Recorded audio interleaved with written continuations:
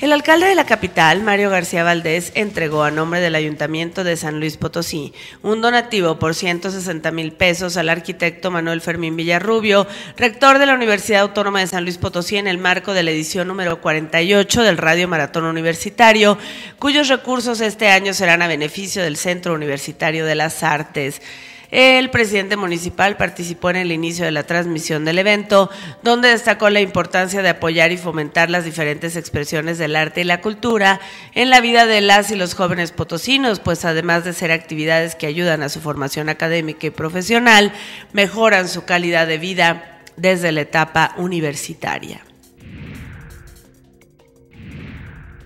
La edición número 48 del Radio Maratón Universitario realizado por la Universidad Autónoma de San Luis Potosí llegó a su fin, superando la meta fijada de 800 mil un pesos para esta edición 2014. De manera preliminar, el rector Manuel Fermín Villarrubio dio a conocer que hasta el cierre del evento la cifra recaudada alcanzó los 900 mil pesos. Sin embargo, la cantidad crecerá debido a que en los próximos días se seguirán recibiendo donativos. Un total del recurso alcanzado será entregado al Centro Universitario de las Artes.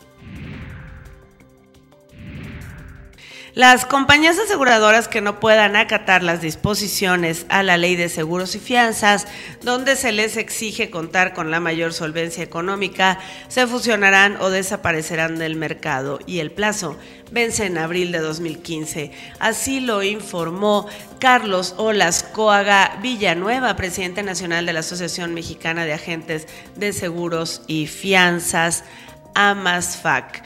La nueva ley de seguros y fianzas les exige una reserva mayor a las compañías. El valor varía, esta reserva la crea la compañía de acuerdo a los riesgos que está cubriendo.